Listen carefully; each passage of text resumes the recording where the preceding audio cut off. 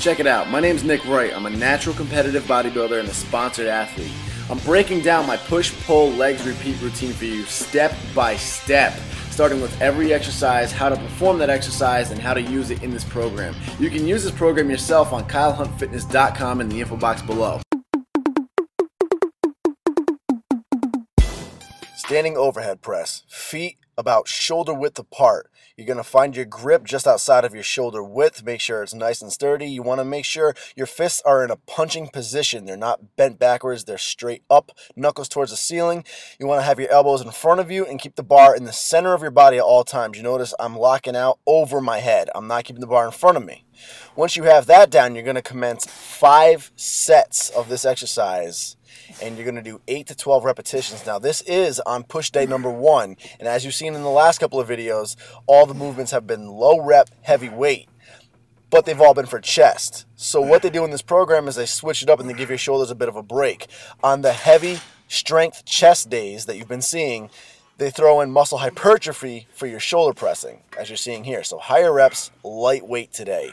Next time we hit push day, which will be in a few more days, when it's hypertrophy day, all the chest workouts will be opposite. They'll be lighter weight and higher reps, and the shoulder press will actually be heavier weight.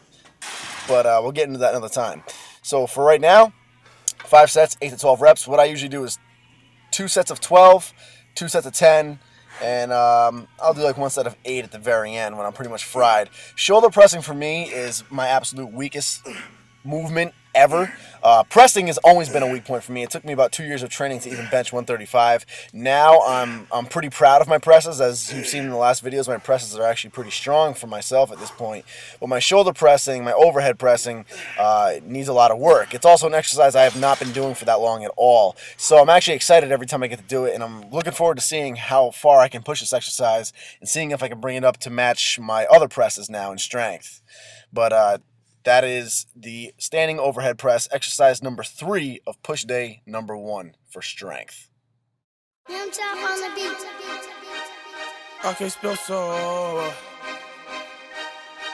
I'm a smoker, afraid I would drink a tato while Molly water.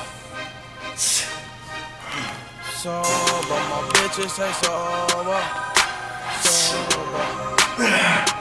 Damn, I hate being sober. Sober. Damn, I hate being sober.